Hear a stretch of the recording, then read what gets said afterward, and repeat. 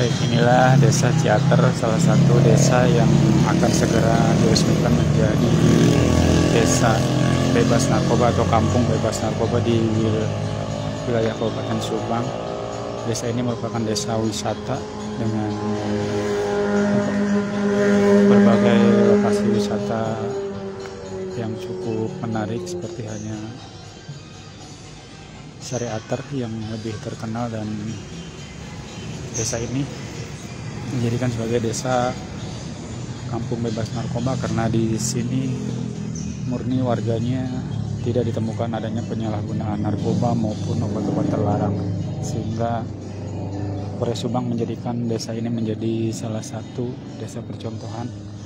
atau yang akan diikutlombakan menjadi desa kampung bebas narkoba. Ke depannya diharapkan dengan adanya kampung bebas narkoba ini Desa Ciater tidak hanya sebagai daerah wisata yang cukup indah, namun juga di dalamnya daerah yang bersih dari peredaran narkoba dan jenis obat-obatan terlain. Saat ini pihak Polres Subang dalam hal ini saat narkoba terus mematangkan persiapan untuk pembentukan kampung bebas narkoba ini di kawasan Ciater yang nantinya setelah diresmikan di sini akan ada beberapa titik baik itu posko posko pencegahan maupun posko konsultasi terkait narkoba dan juga ada beberapa pemasangan alat peraga bebas narkoba sehingga dengan adanya alat peraga tersebut jika di kemudian hari ada warga atau orang-orang luar yang akan masuk wilayah Ciater bisa berpikir beberapa kali karena daerah ini merupakan daerah yang bebas dari peredaran narkoba sehingga diharapkan masyarakatnya juga ke depan bisa membantu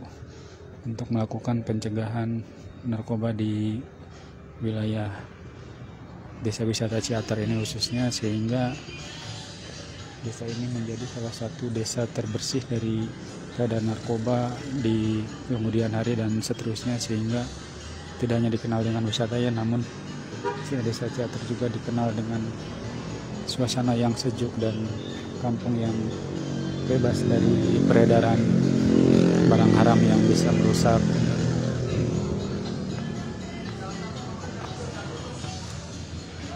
Yang bisa merusak generasi muda. Mudah-mudahan dengan adanya kampung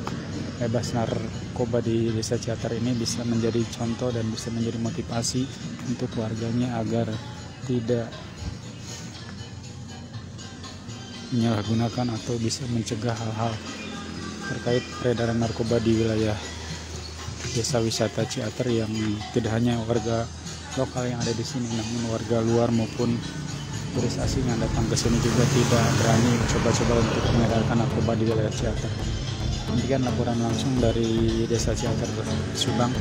Ahyan Nurdin melaporkan untuk Tribun Jat. Terima kasih sudah nonton. Jangan lupa like, subscribe, dan share ya.